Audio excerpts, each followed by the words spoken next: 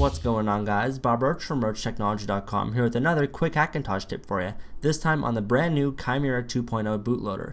Now if you've been following my videos for the past couple months or so, you'll know that not too long ago there was an iMessage bug in the Hackintosh world, and honestly in you know the overall Mac world too, even some legitimate Macs had this problem. However, if you were running a Hackintosh at the time, you'll know that you had to install an entirely different bootloader to get around this issue. Now, if you follow my videos or if you follow the Tony Mac community, then most likely you're very familiar with the Chimera bootloader, which in my personal opinion is the easiest to use.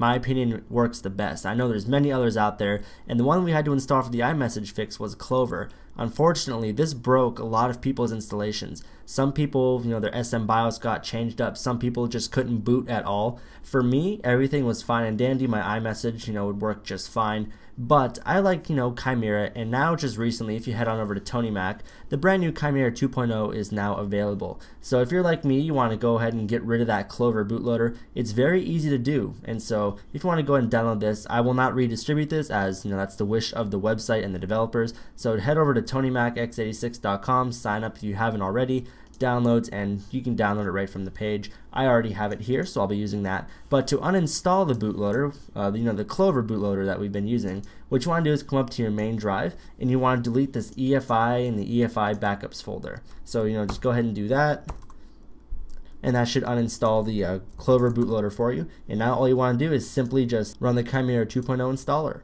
And really quick here before moving on, it just kind of gives you a changelog here. And while there's you know a couple little things here with graphics and you know uh, processor frequency fixes, things like that, the big thing is that this now has the iMessage integration that we all know and love. So now your iMessage will work without having to change that bootloader. So all we're going to do is just very simply uh, continue, continue, continue. And actually, you know what? I'll go back. I kind of skipped over this. This is different because this is actually going to install a file to the root of our drive it's going to tell you this, and basically this is what enables the iMessage to work. So that's pretty cool stuff. I'm going to go ahead and click continue, continue.